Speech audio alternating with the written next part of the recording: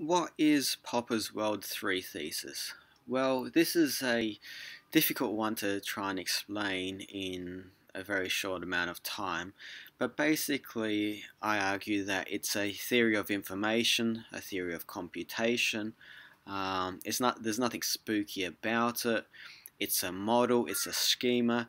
We can't sort of find it anywhere. It's it's really just to help um, model our understanding of the uh, what he refers to as the uh, three three levels of um,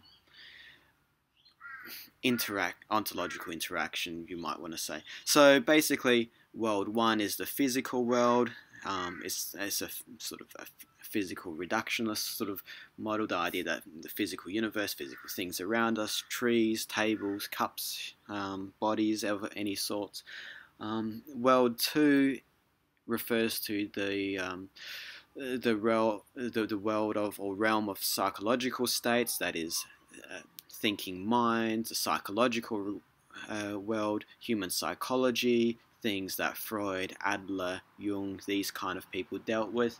Um, so basically, what goes on inside uh, individual heads and World 3 really just concerns information in itself, um, uh, uh, logic, mathematics, um, discursive rationality, which in, which is related to, to, to, to logical mathematical thinking. So uh, um, these sort of uh, and and really any creation or product of creation of the human mind as well, including art, uh, uh, art, literature, um, all these kind of things.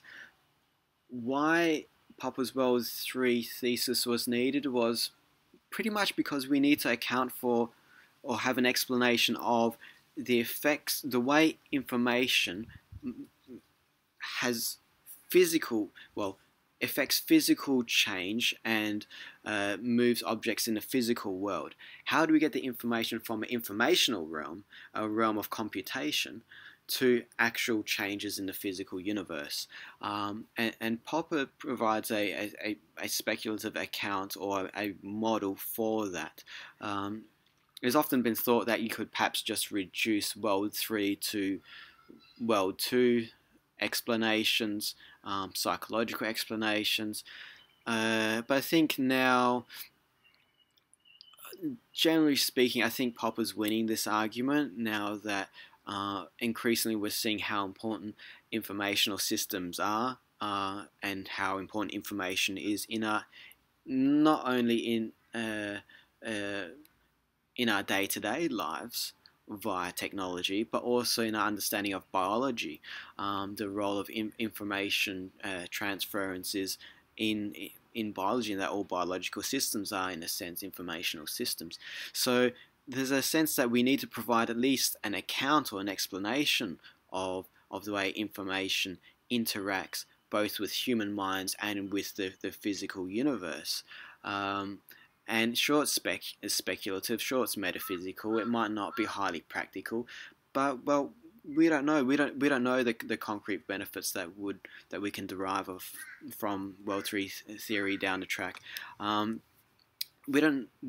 We, I mean, it's what what kind of understandings can we gain for about the about the internet and about um, uh, social media platforms and all this sort of stuff. I mean, to what extent even um, can we possibly argue that things like Facebook and and, and uh, uh, social media are in a sense derived from or, or have something uh, owing in some sense to to Popper's work in the 70s on on on World 3 that that kind of way he kind of almost anticipated uh, the important role of information in affecting uh, physical and social causality. Um, so uh, in, in that sense uh, we, we, we don't know the tangible um, the tangible uses of, of such a such a highly spe speculative and metaphysical theory, but you know he, he provides an account, he provides an explanation of how information interacts with the physical world. Um, it's an interesting one, and it very well may be the best explanation we have at the moment.